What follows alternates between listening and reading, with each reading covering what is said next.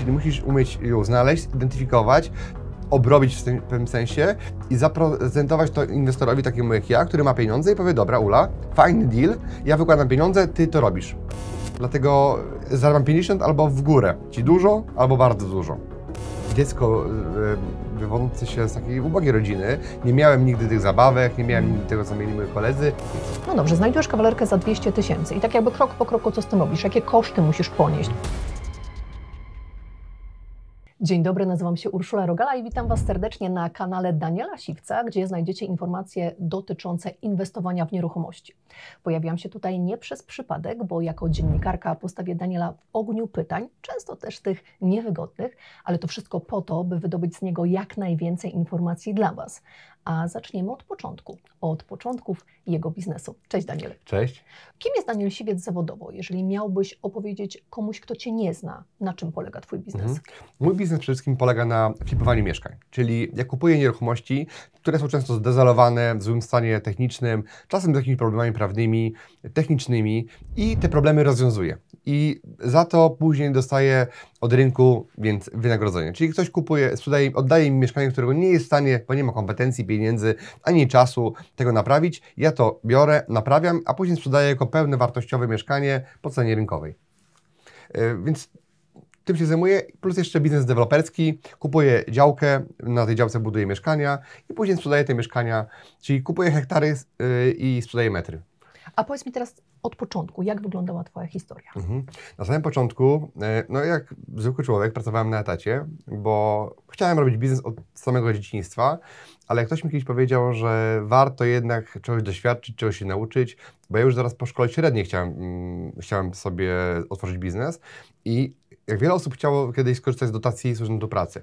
I ja poszedłem, złożyłem wniosek, bo chciałem otworzyć sklep, sklep Żabka, no bo myślałem sobie, skoro nie potrafię nic innego e, za bardzo, e, bo nie miałem wykształcenia jeszcze, doświadczenia, to otworzę Żabkę. Mhm. I jak się okazało, dyrektor Urzędu Pracy powiedział mi, chłopie, może lepiej pójść do pracy, czegoś się naucz, doświadcz czegoś i wtedy dopiero przyjdź z pomysłem, bo jeszcze nic nie, nie widziałeś, nic nie, nie umiesz jeszcze, więc to będzie dla Ciebie lepiej, więc my Ci tej dotacji nie damy.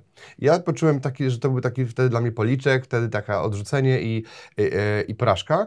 Natomiast jak patrzę z perspektywy, to dziś się cieszę, że tej żabki nie otworzyłem, bo tak naprawdę e, od wielu osób słyszałem, że to nie one mają żabkę, tylko żabka ma ich. Mhm. E, Czyli jako taki nieopierzony ptak, gdzie pracowałeś na tym etacie? I te, wtedy poszedłem do, do pracy i do, pierwszą pracę, którą dostałem, to była praca w Browarach Lubelskich Perła. Byłem handlowcem, przedstawicielem handlowym, który zajmował się e, i dbałem o to, żeby, żeby Perła była zamawiana do sklepu. Mhm. Jasne. A potem, tak jakby kolejnym krokiem w Twojej I karierze? ja sobie zdałem sprawę, że po roku czasu w, y, pracy w, w, tym, w, w tej firmie zdałem sobie sprawę, że no już wszystko, co miałem zobaczyć i nauczyć się, już dowiedziałem, więc poszedłem dalej. Dostałem pracę jako key account, jako taki handlowiec, ale od spraw kluczowych klientów, czyli już taki y, troszkę półkę wyżej, mimo tego, że miałem 22 lata. Byłem najmłodszy w swoim dziale, bo tam wszyscy byli powyżej 30. Ja miałem 22 lata i, do, i miałem do obsługi dosłownie trzy województwa i największe sieci handlowe, takie jak Auchan, e, wtedy jeszcze Real, jakieś tam makro i robiłem towarowania e, w firmie Mieszko, handlowałem cukierkami Mhm. do tych właśnie sklepów. I tam po roku zdałem sobie sprawę podobnie, że to jest fajna praca, że pnę się po drabinie kariery, robię dobre wyniki, dobrze mi idzie, Ale to znowu nie to. ale widzę, że tak się bogaty nie stanę. Że będę pracował, zarobię na rodzinę, na dom, na życie Mhm. i tak naprawdę to mnie nie wyzwoli z tego jarzma etatu. I pomyślałem sobie, że to, kiedy jak nie teraz, bo wtedy byłem 22 lata, miałem już trochę oszczędności, ale to były jeszcze małe pieniądze i nie miałem kredytu, nie miałem dzieci, nie miałem rodziny, nie miałem tych jakby barier i ryzyk. Pomyślałem sobie, jak mam czegoś doświadczyć, spróbować, to teraz. Bo do takiej pracy zawsze będę mógł wrócić. To nie jest tak, że później ktoś mnie nie przyjmie, powie, że miałeś rok czy dwa przerwy. Dlatego postanowiłem mm, skoczyć w taką przepaść i założyć własny biznes. I jak już byłem na, na tym etacie, to bardzo dużo jeździłem y, po Polsce między klientami. Czasami było tak, że więcej pracowałem w samochodzie, byłem w samochodzie, niż u klientów, więc miałem dużo czasu i słuchałem sobie różnych audiobooków, takich rozwojowych, jak Brian Tracy, takich motywacyjnych i one mi trochę tak jakby zakrzepiły taką wiarę w to, że mogę osiągnąć sukces, że mogę więcej niż mi się mówiło przez całe e, lata mm, życia. I wtedy odkryłem branżę nieruchomości. Mhm. Że wysłuchałem w jednej z książek, że to jest super branża, właśnie dlatego, że ona łączy ludzi bogatych. Po pierwsze, nieruchomości są taką branżą, bo bogaci albo w niej inwestują swoje ciężko zarobione pieniądze w innych biznesach, albo na nich się dorobili. Więc to mi pokazało, ok, skoro jeszcze nic nie umie, handluję cukierkami, piwem, to może lepiej wybrać branżę, która od razu, skoro jestem na początku swojej drogi, jest już tak intratna, tak kaloryczna. Mhm. Czyli rozumiem, że jeżdżąc samochodem po Polsce jako handlowiec zakiełkowało w Twojej głowie takie marzenie, że też będziesz tak. Wiedziałem, że już mam pewien, jakby byłem ogarnięty trochę, wiedziałem, jak się rozmawia z klientami, już Mhm. potrafiłem coś załatwić, wierzyłem w swoje możliwości, bo miałem wyniki Mhm. i pomyślałem sobie, że to jest ten moment, żeby pójść na swoje i spróbować, bo najwyżej wrócę. Tak? Czyli Więc co, tutaj w Lublinie założyłeś pierwszą swoją działalność? tu założyłem swoją pierwszą działalność i zacząłem szukać okazji na rynku nieruchomości. Mhm. Jednocześnie, kiedy zacząłem robić te flipy, to też założyłem swoje biuro nieruchomości, Big City Broker, które istnieje do dziś. E, Ja już nie jestem jego właścicielem, natomiast ono dalej funkcjonuje już 14 lat. Mhm. Czyli jak się szuka takich okazji? Bo założyłeś swoją firmę i stwierdziłeś, że co, teraz wychodzę na rynek i gdzie szukam tych mieszkań? Jak będę na nich No zarabiał? właśnie, to nie było takie proste wcale, tym bardziej, że kiedyś nie było książek na ten temat, nie było Mhm. e, kanałów tak jak mój na YouTubie, nie było osób, które e, szkolą z tego i było o wiele trudniej. Ja mm, szukałem sobie takich poszczególnych kropek, które później mi się udało połączyć, ale faktycznie muszę powiedzieć, że przez rok czasu trochę odbijałem się od ściany. Próbowałem znaleźć tę okazję, nie wiedziałem, co jest okazją i powiem Ci tak szczerze, że mało osób o tym wie, ale ja po prawie po roku czasu, kiedy rzuciłem tą pracę, już mi się kończyły, można być trochę oszczędności, bo żyłem z tych oszczędności, nie, pracowałem i pomyślałem sobie, może jednak warto wrócić. Przeprosić się z tym etatem i warto wrócić na ten etat i wtedy zacząłem szukać pracy. Mhm. I jedna z firm, taka y, niemiecka firma techniczna, chciała mnie zatrudnić. Już byłem na trzecim czy czwartym, ostatnim etapie i byłem ja i jedna osoba. No i na szczęście dla mnie dzisiaj wzięli tu jedną osobę na, ten dobrze płatny, można powiedzieć, etat, Bezpieczny etat. bezpieczny etat w euro z dobrym samochodem. Dużo Mhm. więcej bym zarabiał niż wcześniej. I na szczęście zatrudnili kogoś innego, bo to mi pokazało, że wtedy okej, w takim razie ci tam nie chcą. Nic innego nie miałem na, na talerzu, więc zacząłem dalej kuć jak e, taki górnik ten, ty- tym kilofem te nieruchomości. No skoro to mi Mhm. zostało, to kuję. I w końcu ta cierpliwość po, m, dała mi e, w końcu zarobić i znalazłem swojego pierwszego deala, na którym zarobiłem pierwsze 30 tysięcy na swoim pierwszym flipie. Ile czasu Ci to zajęło? Bo założyłeś tą firmę, tak jak Mhm. powiedziałeś, był czas, kiedy zastanawiałeś się, żeby wrócić Mhm. na etat, to ile czasu zajęło Ci to, żeby trafić na te pierwsze mieszkanie, na którym zarobiłeś te 30 tysięcy? To był, e, myślę, że pierwsze, pierwszy rok. Także Mhm. w pierwszym roku miałem taki e, moment kryzysu i zaraz po tym roku znalazłem tą swoją okazję i po trzech miesiącach ją sprzedałem. Mhm. I jakie to było mieszkanie? To było mieszkanie, była kawalerka w Lublinie, 26 metrów i to było mieszkanie, które miało problem, bo ludzie, którzy je odziedziczyli, mieli dług. Mhm. Odziedziczyli je z długiem, nie mieli pieniędzy, żeby ten dług spłacić i groziło im y, utrata do tego mieszkania. Więc gdybym ja ich tego długu nie spłacił, to oni by ten lokal stracili bezpowrotnie i dostaliby jakieś tam ochłapy. Ja mogłem ten dług spłacić i zostało im dzięki temu o wiele więcej pieniędzy. Mhm. A jak się szuka takich okazji? Jak się trafia Mhm. na takich ludzi? E, Przede wszystkim trzeba, jest wiele metod, tak? Ym, Można znaleźć w internecie ta, takie okazje. Są osoby, które też e, je wystawiają, ale najlepiej e, szukać takich, e, takich ofert właśnie pocztą pantoflową, takim można być marketingiem trochę partyzanckim, takim archaicznym, Mhm. bo osoby, które mają takie nieruchomości często, to nie są osoby, które mają 20 lat. To są raczej osoby e, w pokolenia na, naszych rodziców na, na, na Mhm. przykład, tak? I często one mogą być analogowe, więc trzeba tak jakby takimi analogowymi e, metodami też ich szukać. Na przykład mo- może być reklama w gazecie, może być w jakimś osiedlowym gońcu na przykład, może to być e, jakaś kartka, zrywka powieszona tak, że szukasz takich mieszkań. Więc metod dojścia je- jest naprawdę dużo i tu byśmy mogli o tym rozmawiać godzinami, jak do, do, do te oferty znajdywać. Czyli doświadczenie handlowca przydało Ci się potem w pracy w Tak, Bo nieruchomościach? handel to jest tak naprawdę odwrócone y, kupowanie, prawda? Czyli jakby kupowanie jest też bardzo podobne do, do handlu Mhm. y, i do sprzedaży. Dlatego umiejętności mi się przydały. Ja pamiętam, niektórzy mówią, a tu już tyle lat tu jesteś, y, tyle lat negocjujesz, tyle lat ci to idzie, więc sobie jest prosto. Jasne. Powiedziałaś o tym, że w swojej branży, w handlu miałeś osoby, które Cię wprowadzały do tego świata biznesu związanego z handlowaniem. Mówiłeś też o tych podcastach, o tych książkach, które słuchałeś, bo często właśnie ludzie biznesu mają osoby, które są dla nich mentorami, Mhm. autorytetami. Kto był dla Ciebie takim autorytetem? Mhm. Ja niestety jakby wchodziłem w ten biznes, to nie miałem nikogo w rodzinie, nikogo e, w swoim otoczeniu, kto, do kogo mógłbym tak zadzwonić i się o każdą rzecz zapytać, bo nikt z mojego rodziny, e, znajomych nie miał tego biznesu, mhm. żeby mnie wprowadzić. No dzisiaj się to wydaje o wiele, wiele prostsze. Ja byłem e, co prawda na jednym szkoleniu z nieruchomości, co pokazało mi pewną jakby pewien pomysł na to, jak, jak można to robić, ale było jeszcze tysiąc pytań, no bo to było za mało. Dlatego ja jeszcze pomyślałem sobie, że wejdę trochę w strukturę pośredników nieruchomości, bo oni tam mm, jakby tworzą takie społeczności, gdzie mogę się jeszcze od nich uczyć. I ja zacząłem jeździć też na szkolenia dla pośredników. One by nie były drogie, bo kosztowały tam kilkaset złotych, i, a to się nauczyłem czegoś o księgach wieczystych. Jasne, czyli to była taka inwestycja w siebie i tak. Twoją wiedzę. Ja miałem takie trochę przekonanie, że bałem się, że ja pojadę na spotkanie dla agentów, na, na, a oni się zorientują, że ja się na tym nie znam, nie, nie umiem jeszcze nic, nie jestem agentem, mhm. że mnie z tego grona wykluczą, a nic bardziej mylnego, nikogo to nie interesowało, kim ja jestem.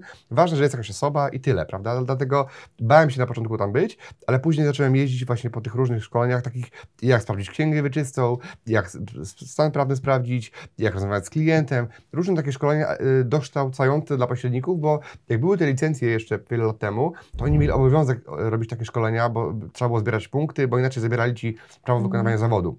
Więc takie szkolenia były i one były dosyć tanie za parę stówek. Mhm. Można było takie szkolenie kupić, więc to jakby uzupełniało moją wiedzę cały czas.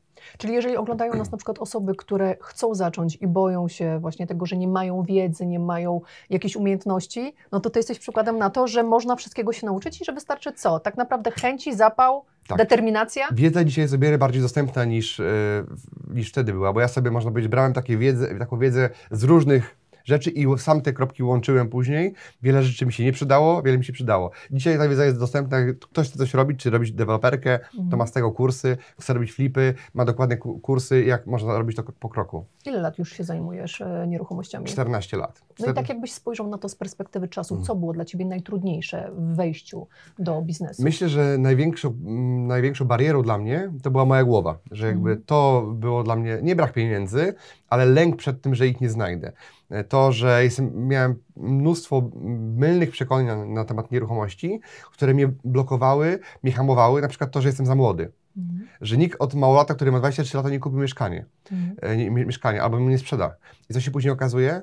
Że dzisiaj moi absolwenci, którzy mają po 19-20 lat, kupują e, mieszkań więcej niż tacy, można powiedzieć, ludzie z 20-letnim stażem w biznesie. No bo, bo, młode pokolenie też ma więcej odwagi, prawda? Tak, ale mi się wydawało, że nikt nie zaufa 20-latkowi, nie, nawet jak, jako agentowi nie, nie zlecił mu sprzedaż mieszkania, bo jest za młody. Mhm. Tak miałem agencję, zatrudniałem ponad 100 agentów i ich szkoliłem, to się okazało później, że nie ten najstarszy wcale, e, jakby się wydawało, doświadczony człowiek życiowo, biznesowo ma najlepsze efekty, tylko nawet ten nie najmłodszy, ale ten zdeterminowany. I często taki 20-latek, który wchodził, świeża krew wchodziła na rynek, miała chęć i ambicje, taki młody wilk zabłysnąć, mhm. robiła lepszy wynik, bo on pracował dużo ciężej, zdeterminowany był bardziej, niż ktoś, kto już załóżmy robi to tylko dla e, pasji. Mhm. E, Daniel, bo z biznesem jest jak w życiu. Wiadomo, są wzloty i są upadki. I ja bym chciała, żebyś powiedział teraz e, wszystkim, którzy nas oglądają, jakie błędy popełniłeś na mhm. samym początku wchodząc w nieruchomości. Jakie błędy? E, właśnie, wtedy pytałeś mnie tego mentora i ja mhm. do końca nawet nie wiedziałem, że powinno się go szukać. Mhm. Dzisiaj bym na pewno go szukał, znalazłbym osobę, która e, jest w miejscu, w którym ja chciałbym być i poprosiłbym ją o, o wskazanie drogi, albo o wytyczenie ścieżki, albo o wsparcie, kiedy będę tą drogą szedł. Wtedy tego jeszcze nie wiedziałem, tak? Byłem mm. jeszcze no, zbyt mało doświadczoną osobą. E, to, to, jest, to jest pierwszy błąd. E, ja inwestowałem w, w, swoją wiedzę, ale wtedy jeszcze nie wiedziałem, jak bardzo to jest opłacalna inwestycja. Mm. Bo ja często mówię, że nieruchomości są najlepszą branżą do inwestowania, ale jest tylko jedna branża lepsza, to jest właśnie edukacja własna, bo tego ci nikt nie zabierze. Bo nieruchomość jest stała, też ci nikt nie zabierze, ale można powiedzieć, że ona jest, może, można ją skruszyć, bo można, nie wiem, ją, ją wyburzyć, prawda? Albo natomiast wiedza własna, doświadczenia własne, są zawsze w tobie do, do końca twoich dni. Mhm. E, jakie jeszcze błędy popełniłem? Mm, myślę, że popełniłem wie, wiele błędów, natomiast... Czy zainwestowałeś kiedyś w jakieś mieszkanie, które na przykład potem się okazało nieopłacalne? Nie. Ja mam taki, e, jakby ja zaczynałem ten biznes wtedy, kiedy na rynku ceny spadały lekko.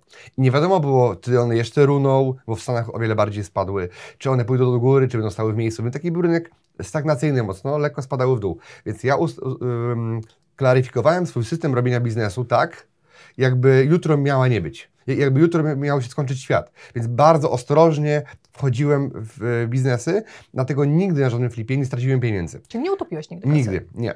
Oczywiście miałem różne przedsięwzięcia swoje życiowe, biznesowe, gdzie nie, nie końca one były e, opłacalne, ale jeżeli chodzi o flipy, o nieruchomości, to zawsze ustalam tak, że mam plan A, B, C i D. I czasem ten plan A zazwyczaj się sprawdza, ale czasem dochodzimy do punktu D, czyli to jest takie koło ratunkowe. E, ale dlatego, że je mam i wchodzę wtedy, kiedy wiem, że ono może być, nigdy nie straciłem. I parę razy mi się tyłek zapalił, e, jak to w życiu, prawda? Natomiast wtedy uruchamiałem plan B, albo C, albo D. I wiele osób tych planów nie ma i ma tylko plan A albo B, a już nie ma C albo D. Dlatego ja jestem bardzo zachowawczy, mam bardzo małą tolerancję na utratę kapitału i na podjęcie ryzyka. Ja mam taką zasadę, że nie wchodzę nigdy w deala, który, na którym potencjalnie nie mogę zarobić dużo albo bardzo dużo. Czyli e, zarobienie mało w ogóle to jest dla mnie za duże ryzyko, mhm. a już nie zarobienie w ogóle czy strata to jest w ogóle absolutnie. Więc ja wolę stracić potencjalną okazję, żeby wziął ją ktoś inny, ale żebym to ja y, nie okazało się, że ta okazja nie jest okazją. Żeby... Ale wytłumacz mi, jaka okazja nie jest okazją? Czyli na, na przykład ja mam zarobić określoną kwotę. No dzisiaj moje minimum to jest 50 tysięcy złotych na, na flipie. Jeżeli ja mam kupić mieszkanie i zarobić na nim 30, to jest dla mnie zbyt mało, żeby się angażować, y, włożyć kapitał, zapłacić wszystkie podatki, y, wrzucić to mieszkanie do mojego schematu, do, dać ludziom do remontu i tak dalej. Więc jeżeli ja zarobię 30, to, to uważam, że to będzie zbyt mało jak na potencjał, który mam, na kasę, którą obracam. Dlatego zarabiam 50 albo w górę. Ci dużo albo bardzo dużo. I jeżeli mm, w ogóle nie biorę pod uwagę zarabienia, dla mnie zarabienie 50 to jest takie socjalne minimum. No dobra, ale y, jeżeli jestem na przykład na początku drogi mhm. y, i przychodzę do Ciebie, cześć Daniel, słuchaj, chciałbym zacząć sprzedawać nieruchomości, ale nie mam złotówki. Nie mhm. wiem, straciłam pracę, wykoleiło mi się życie i po prostu obserwuję Ciebie i chcę żyć tak jak Ty. To Jasne. jak nie mam kasy, to czy mogę zacząć? Pewnie. Pytanie teraz co masz, bo jak nie masz pieniędzy, ale nie masz pracy, to pewnie masz czas. Mhm. I to jest twój zasób, który musisz wykorzystać. Więc co, to, co potrzebujesz, żeby y, umieć y, zarabiać na nieruchomościach, to jest nauczyć się, jak znajdywać okazje i je dowozić, czyli musisz umieć ją znaleźć, identyfikować, obrobić w, w pewnym sensie i zaprezentować to inwestorowi takiemu jak ja, który ma pieniądze i powie, dobra Ula, fajny deal, ja wykładam pieniądze, ty to robisz. Mhm. I ja wtedy się dzielimy pół na pół.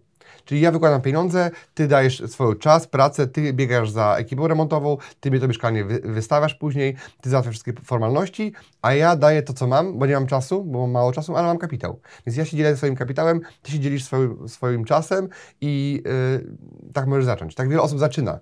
Ja jeszcze wtedy, jak zaczynałem, to tego nie, nie, znałem. To jest dla mnie dzisiaj tak proste, ale wtedy nikt o tym nie mówił w ten sposób. Jak ja myślałem sobie, o inwestorze, to myślałem sobie, dobrze, jak będę miał 30 lat to kto, i doświadczenie, i portfolio, to ktoś może mi zaufa. Ale wtedy to jeszcze, wiesz, no, ja wyszedłem z biednej rodziny, gdzie nie rozmawiało się o pieniądzach, nie, pieniądze się nie przelewały, tak, wiesz, 100 tysięcy tu czy tam, tylko po prostu y, mieliśmy problem, żeby wiązać koniec z końcem, dlatego ja się tych pieniędzy bardzo bałem i nie sądziłem, że ludzie zamożni są w stanie w tak sp prosty sposób w bezpieczny produkt, jakim jest mieszkanie, zainwestować. Jeżeli znajdujesz takie mieszkanie, to teraz y, przejdźmy krok po kroku. Znajdujesz mieszkanie, które powiedzmy jest tą kawalerką. Ile kawalerka teraz jest? Y, za ile można kupić kawalerkę w Lublinie? No w okolicach 200 tysięcy. No dobrze, znajdujesz kawalerkę za 200 tysięcy i tak jakby krok po kroku co z tym robisz? Jakie koszty musisz ponieść? Mhm. Bo tak jak wspomniałaś o tym, że ekipa remontowa, mhm. co jeszcze?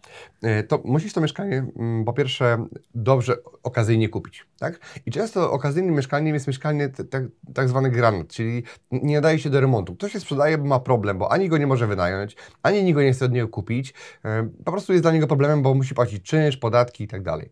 Dlatego e, ja mogę je kupić, ponieważ ja mam czas, albo ja, w sensie moi ludzie, zespół, prawda, czy moi fliperzy, mają czas na to, żeby je wyremontować, mają czas na to, żeby z tym pochodzić, a osoba, która je ma, często jest na etacie, ona często po pracy musi, że dzieci odwieźć, przywieźć i schodzi tyle czasu, że jak miała jeszcze jeździć za, materiałem budowlanymi, za ekipą, to już po prostu nie ma na to czasu. Więc woli takie mieszkanie komuś oddać, niech ktoś to zrobi, i nawet na tym zarobi. To jest tak samo jak z samochodem. No, nie masz czasu spotykać się z każdym klientem, który chce obejrzeć Twój samochód i się z nim przejechać. Lepiej czasami oddać do komisu albo y, oddać komuś po prostu, niech się tym zajmie. Mhm, czyli znajdę mieszkanie, tak jak powiedziałeś, w okazyjnej cenie, które jest do generalnego remontu, znajdę ekipę, która to mieszkanie wyremontuje. Mhm. E, powiedziałeś też coś o podatkach. Jakie podatki musi Po, jeżeli, opłacić? jeżeli chodzi o podatki w Polsce, to myślę, że one są dosyć niskie i tutaj mamy dosyć niskie podatki. Mamy podatek od zakupu nieruchomości, to jest 2%, czyli za sam zakup musimy zapłacić. Tak jest mniej więcej w, w każdym kraju y, na zachodzie również, to jest 2%. Mamy podatek od nieruchomości, gdzie płacimy za samo posiadanie nieruchomości, to, to są nieduże pieniądze. I mamy podatek od zysków, y, czyli od zysku, tak firma ma zysk, to firma płaci podatek dochodowy, to jest y, 9, 19, w zależności od tego, jak ktoś się rozlicza. Mhm. A ja chciałabym jeszcze wrócić do tego, że powiedziałeś, że nikt z Twojego otoczenia nigdy nie prowadził biznesu, nikt z Mhm. rodziny, z bliskich, ale jak w Twojej głowie zakiełkował taki pomysł, że będziesz biznesmenem, że Mhm. będziesz inwestował w nieruchomości, to czy dzieliłeś się tymi swoimi marzeniami z innymi? Tak, bo są takie dwie teorie. Jedna mówi, nie dziel się to dla siebie, bo inni ci zhejtują i ci podetną skrzydła. Mhm. Ale druga metoda jest taka, lepiej to powiedz wszystkim, e, że już to robisz, wtedy nie masz wyjścia, będziesz musiał.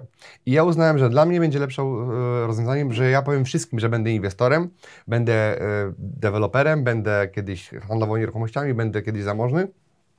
Chodziłem i mówiłem wszystkim, bo wiedziałem, że to będzie one way ticket. Jak już powiem, to będę musiał zrobić. No i jaka była reakcja na te Twoje marzenia? No i- Obwieszczone wszemi wobec wszystkich. Oczywiście te osoby, które mnie e, z rodziny na przykład, tak, lubią, e, niektóre nie mówiły mi, co o tym sądzą po prostu, bo to był taki, taki pomysł, że 22-latek mówi, ma w kieszeni 30 tysięcy złotych, które sobie oszczędził, wy, e, uciął na etacie i on mówi, że on będzie inwestował w nieruchomości. Już wtedy to była mała kwota, już nie mówiąc o tym, co to jest dzisiaj. E, I wiele osób jakby śmiało się ze mnie, nawet e, mój szwagier, jak e, przyjeżdżałem, to, to mówił i się śmiał, mówi, patrz, deweloper przyjechał. Mhm. I jak wtedy jeszcze nic nie robiłem, więc to, to było takie prześmiewcze. No dzisiaj jestem deweloperem i kupuję od niego materiały budowlane, bo pracuję w firmie, która handluje materiałami, więc on już mówiąc o mnie deweloper myśli coś innego niż te paręnaście lat temu, więc miałem taką trochę szyderę e, i wiele osób nie wierzyło w to, no bo tak naprawdę jakby to, jak ja bym był na ich miejscu, też bym pewnie nie wierzył, bo to jest taka droga, ja mówiłem, ja wysoko sobie te cele stawiałem. Mm, Natomiast to mnie w jakiś sposób nie zahamowało.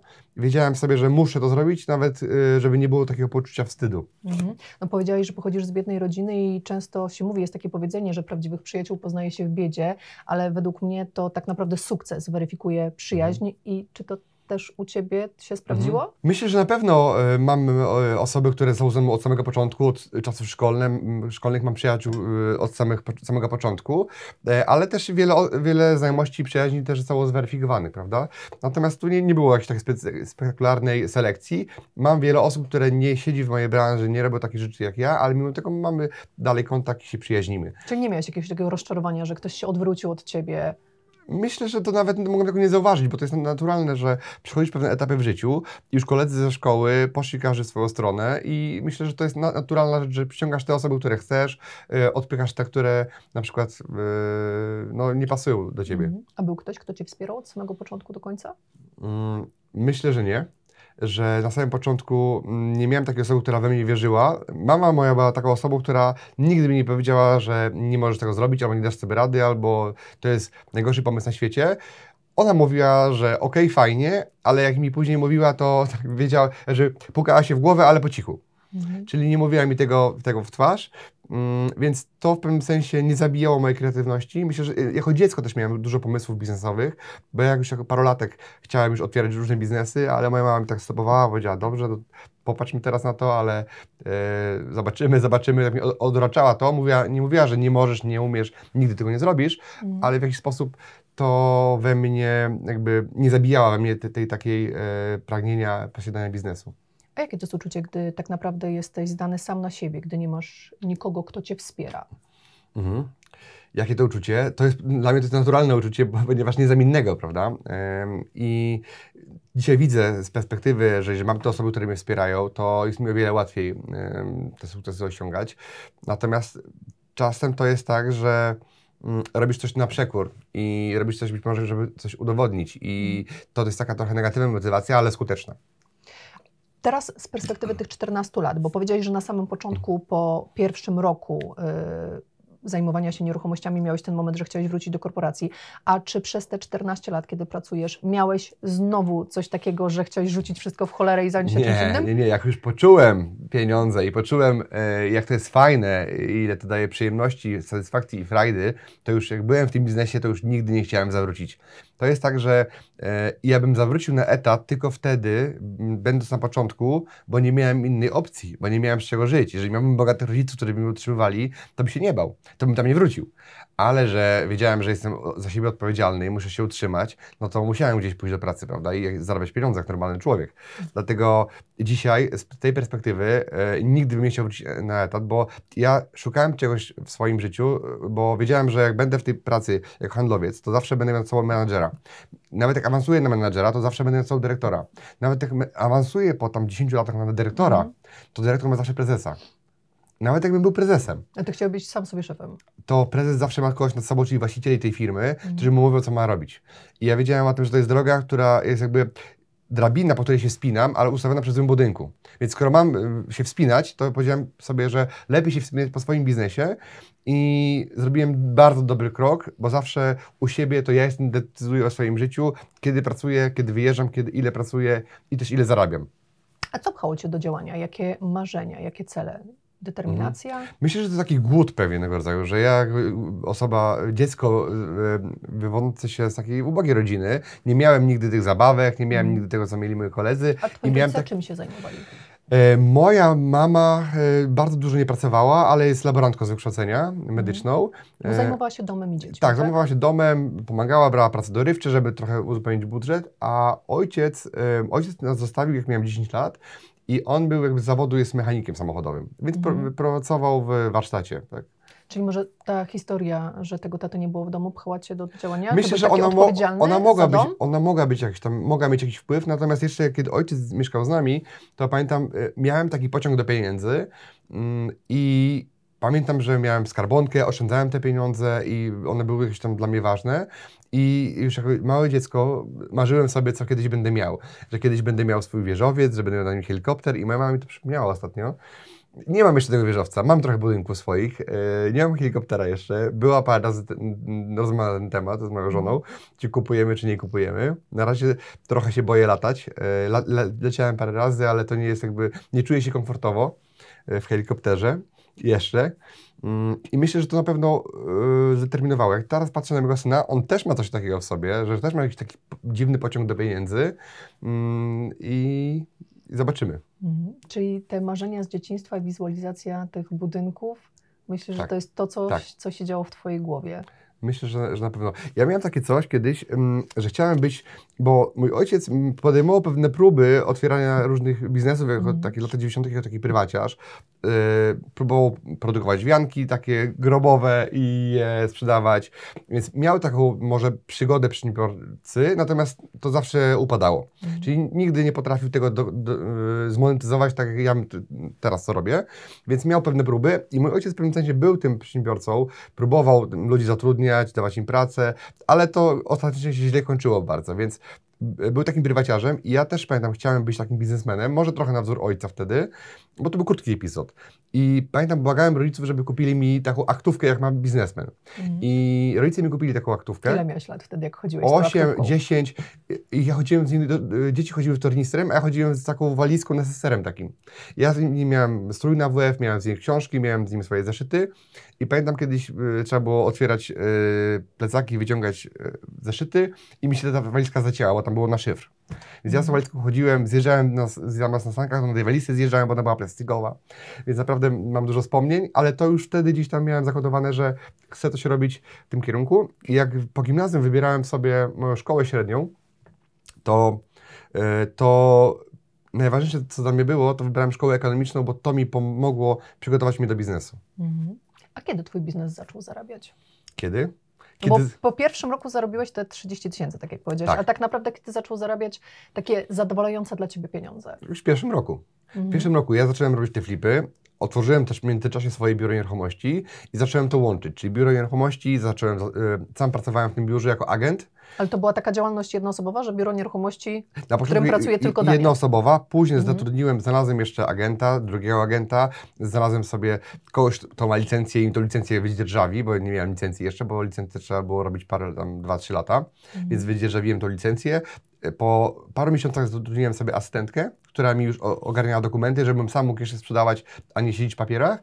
I to w pierwszym roku, praktycznie po pół roku prowadzenia tego biznesu już mogłem, pojechałem na, na tygodniowe wakacje. Tak? Mhm. Udało mi się zarobić pieniądze, trochę odpocząć i, i to się już zaczęło nakręcać i to już tylko była kula śnieżna, która od tamtej pory się cały czas nakręca. Powiedziałeś, że jesteś zachowawczy z tym inwestowaniem, e, a mnie ciekawy, czy ty znasz jakieś takie historie e, osób, które inwestowały w nieruchomości i nie wiem, otarły się o bankructwo, zbankrutowały, Mhm. Jest ich bardzo mało, ale znam, bo bywam na rynku, rozmawiam z ludźmi, spotykam się na konferencjach i dochodzą do mnie takie informacje. Tak, jeżeli ktoś na przykład gra zbyt agresywnie i gra, można powiedzieć, albo wygram wszystko, albo stracę wszystko, Zbyt tak. agresywnie to znaczy? To znaczy, że kładzie wszystko na jedną kartę. Czyli mówi na przykład, kupuje działkę pod deweloperkę i musi zebrać ileś milionów złotych, których nie ma.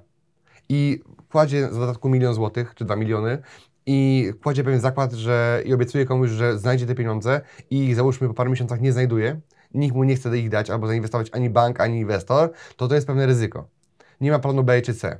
Albo ktoś mówi mm, po prostu gra zbyt agresywnie, tak? Mhm. I, albo lewaruje to potrójnie, czyli nie ma, mm, bierze kredyt, żeby wziąć kredyt, żeby wziąć kredyt, żeby wziąć kredyt. Mhm. Czyli na, na, przykład za dużo bierze kredytów i... A ty kredytowałeś się kiedyś? Ja tak, kredytowałem się, ale nie lubię kredytów, używam ich, bo to jest jakby dzisiaj jako deweloper to jest konieczne, żeby zarabiać i zyskiwać na tym, bo ja robię projekty za kilkadziesiąt milionów, więc nie mam takich, yy, żebym zrobił w twojej skali, to musiałbym mieć bardzo dużo pieniędzy i to było, była słaba rentowność bez mhm. banku. Dlatego, ale flipy robię za własny kapitał, który cały czas się pomnaża. I nie flipo, nie, nigdy nie finansowałem flipów kredytem, ale moi absolwenci często go używają bo wolę użyć pieniędzy inwestorów, pieniędzy innych ludzi, pieniędzy właścicieli mieszkania na przykład. Są inne alternatywy, lepsze, szybsze niż bank, bo bank dyktuje warunki i gra na swoich warunkach. I bank ci może powiedzieć, że da kredyt, ale później ci go nie da albo powiedzieć Ci, że Ci da na takich warunkach, a później Ci dzień przed zmieni te warunki. Bank y, jest taki trochę jak daje Ci parasol w słoneczny dzień, czyli daje Ci pieniądze wtedy, kiedy ich nie potrzebujesz. Czyli chcesz, potrzebujesz kasy, e, to ci nie da. Ale nie chcesz pieniędzy, to y, zarzucają cię kartami, kredytkami, wszystkim co chcesz, bo wiedzą, że masz duże dochody. Mhm. Więc oni liczą, że po prostu jest, jest tak to skonstruowane, że nie zawsze w Polsce osoba, która potrzebuje tych pieniędzy, je dostaje, a te osoby, których nie potrzebuje, jest wciskane usługi finansowe, żeby tylko nabijać prowizje i, i usługi. Dlatego ja korzystam z banków, ale tylko przy dużych tematach, bo jak mam wziąć na mały temat, na paręset tysięcy kredyt i całą procedurę przechodzić, to po prostu wolę yy, skorzystać ze swoich pieniędzy albo z pieniędzy innych ludzi trochę drożej, ale szybciej, pewniej, bo czas uzyskiwania kredytu też jest kosztem. Powiedz mi teraz, najpierw zacząłeś inwestować w nieruchomości, czyli kupowałeś te mieszkania, mhm. jakieś okazje, a następnym krokiem było co? Bo powiedziałeś też, że kupujesz działki, że buduje, budujesz mhm. budynki. Po jakim czasie tak jakby Myślę, nastąpiła... Około po 4-5 latach prowadzenia biznesu, czyli y, prowadzenia biznesu agencji nieruchomości mhm.